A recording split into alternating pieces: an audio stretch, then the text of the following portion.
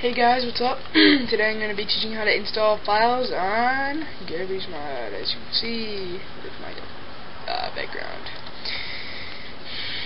Now, um, we want to go to Garry's mod.org right here.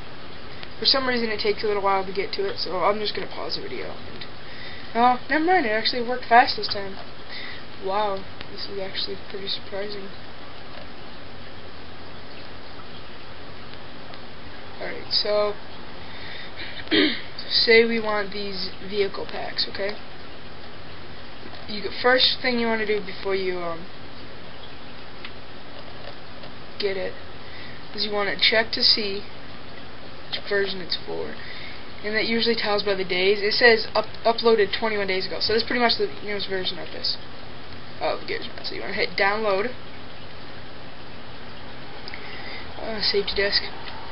Oh, and if anybody, um, if Kunos or whatever has any copyright infringements against this or anything like that, he doesn't want me posting this video or wants me to take it down, um, really, I'll just post another one about a different one. So,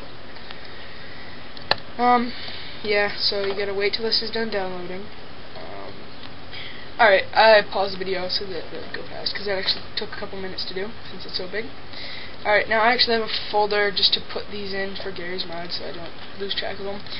And so you want to open up the file, and all these, yada yada yada, just this, if when you open it up, it if you downloaded the same file, it should say Kunos, Kunos Cars.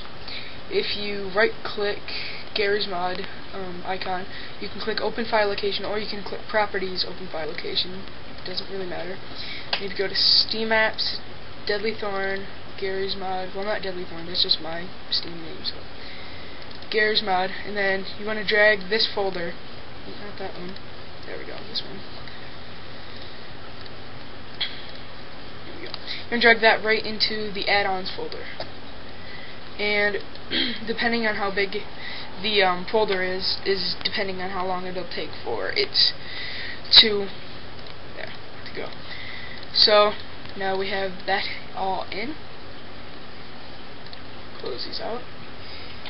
And I'm going to open up Fraps to show you that they work. Alright?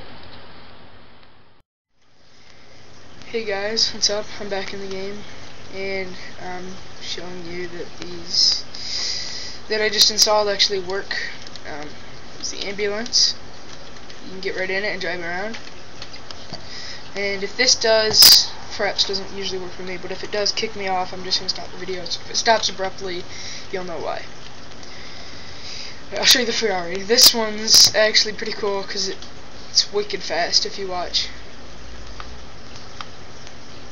If you can see that, it drives pretty fast downside about this mod is that it does kind of turn slowly. There's the go go. Look at that. Alright. See you.